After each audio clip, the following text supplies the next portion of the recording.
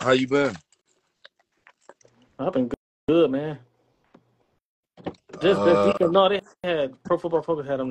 They had the number one secondary, the number one defensive line. They got Quinnen Williams and they got Sauce Gardner. So I see y'all. I see y'all talking about um talking about football, man. But I I can't even get over the the Olympics, man. I've been, you know, I yeah, had so many mixed can turn this emotions thinking that. about that that Olympics, man. Yeah, remember you still got line- linebackers too. So they probably, you know, what I'm saying linebackers ain't. You know, they are. CJ Mosley good, but I don't know. Oh yeah, but you said the Olympics. Yeah, Curry and Le- LeBron and Durant, Booker. Booker had a couple good games too.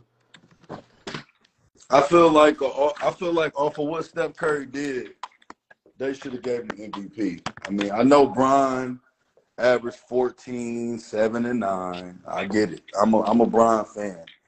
But I just don't think that uh, he was deserving of the MVP after Steph after what Steph did in the semifinals and in the finals. But uh, you know, they, they're trying to make it a uh, like you know they wanted the award to be for uh, your overall performance, but this man went out. Y'all picked the best players. Y'all put the best team that y'all the assemble. Even though I don't know how Derek White made the team, but anyway, y'all picked the Yeah, it's best still team been that Jaylen Brown instead of Derek White, but other than that, yeah. Oh, they still, they still, man. well, I well I know well I know why Derek Derek White made the team. Um, same reason that well Derek White made the team. Never mind, I ain't gonna say that. I just I just know that they wanted they wanted rep, representation for all, and I think Derek White, Jayson Tatum, and Tyrese Haliburton were the closest they could get for all. But moving forward, uh, I know that Steph probably did. I mean, Steph was streaky the first six games, but when you find a guy that's like, hey, this is the best team that we could put together, and I'm gonna go out here and have 40. Like, you know, you you you that's have to that's not normal what he you did have in the to be insane to just say, hey, look, bro, I got the best team that we can put together. I got the Monstars. I'm going out here and taking 20 shots tonight. And don't nobody say nothing. Right. You know. That Um, is crazy, bro. but the question that I wanted to pose to, to you is um,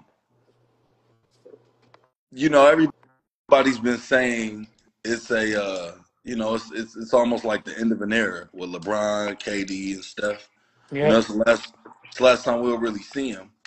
But from my, from your point of view, what's up, Cuzzo? What up. From my- from your point of view, who do you think will uh who do you think will kind of take over the reins after they leave? Like who will replace? Well, nobody's going to replace LeBron, but who will replace KD and Steph? And, and it's, I really, you could really say that nobody will replace Steph, but Yeah, come for on, gonna. KD, yeah.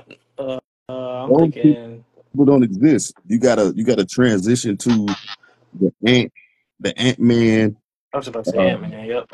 Ja Morant. You gotta bring Tatum back as an older guy, as the elder statesman, OG at that time. You gotta get Jaylen Brown his time. You gotta hope that Zion is healthy. Man, Got Luka. You still got Luka though. Still. Luka ain't from America. Oh, you said from America. My bad. yeah, I I, thought you were just talking about taking over the superstar. My bad. You talking about? I I thought you he were talking about the Olympics. no, I'm saying, yeah, I'm, but I'm saying who would take over, even if, e- okay, I, I'll give you that. So I'll put LeBron in the conversation. We're just talking about the next three big superstars. Uh, So Yeah, that's so what. you, I, I'll give you I, Ant Man and SGA. SGA. Yes. Yeah. Oh. He's about he should he he almost won the MVP this year. No man who playing MVP level basketball can't be in the conversation. That's crazy. Oh, we never put Jokic in that conversation. And, and what? That's what. no, he's still been in the era, but I, I see what you're saying. You're right. Yeah, he, he could be he, he up there. Yeah, I ain't know. I don't know. He was center. That's why I didn't really. Because he said, I don't know. Um, I'm No, thinking no, it's back not to it's Brian not Curry. that. I'm thinking perimeter scorers basically. Number one, it's hard for centers to be be, be loved. yeah, It's very hard. unless you unless you Shaq, you know. Yes. You know, you have to And be like Jack had a to, dominant Shaq player. had to break dance and do all kind of stuff. Akeem was going out there putting up 30, and they still was like, yeah, we, we Like Dave Robinson had, had a quadruple double and he scored 70 and don't nobody talk about it. ever. That's We crazy. don't ever, we don't. We, Nobody well, well, I'll say this though. David Robinson kind of got shot in the foot because his teammate was Tim Duncan. So it's gonna be hard for us to talk about David Robinson Yeah, but and your teammate this Tim this Duncan. this quadruple double and 70 and MVP, this pre Timmy D. Huh? That's before Tim Duncan was in middle school when that was happening. I know, but it's like I I I I, I understand. Um, what what was it about SGA that I didn't? Well, I don't know why I put them up there because I think I just took three. I took I took Ant Man, I took Luka. Oh, and I put Ja up there. I, I said that Ja. I put Ja in that in that conversation. You, That's why I didn't put as far as popularity and stuff and being like the face? That. And I think me, just me, I'll take I'll take Ja over over SGA. SGA How many how many how many MVP votes Ja ever got in his life? SGA a dog, but they I think that they both they're both on the same level. They both are like superstars. They you know they they have a talent to where you can build a team around. But I still think it's a toss up. I don't think one person has. I don't think either of them have put you know have given themselves distance from the other person. Before Ja got in all the trouble, he I don't know he wasn't a finalist, but I think he had got NBA first team like his second or third year. How, But he was on many the way. how many straight 30 point games SJ had to throw up last year in a row? like at least twelve. Like SGA was, and that's the thing, man. He put up the most average 30, dog. Like you look at his stat line, it's gonna say 29, 28, 32, 31, 30, 37, 23. Like all of that is gonna be around. You ain't gonna see no 50. You ain't gonna see 41. No. You're no. gonna see 29, 30, 31, 32, 28, 26, 34. Like Yeah, because he plays at a pace. It's not. It's a. It, it's it's slower than Ant and Ja, but it's faster than Jalen.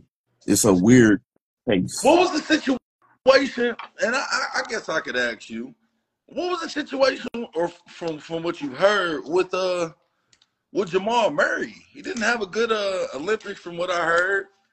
Um, I read that he had some issues in the locker room, even with his countrymen. dang. So I don't know, man. Oh, But that sounded like he you know what? wanted one way, but SGA was like, "No, this going another way, dog."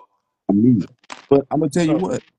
This is what separates a human like Steph Curry from regular guard because almost all of the the guards is dogs that they supposed to be point guards by position.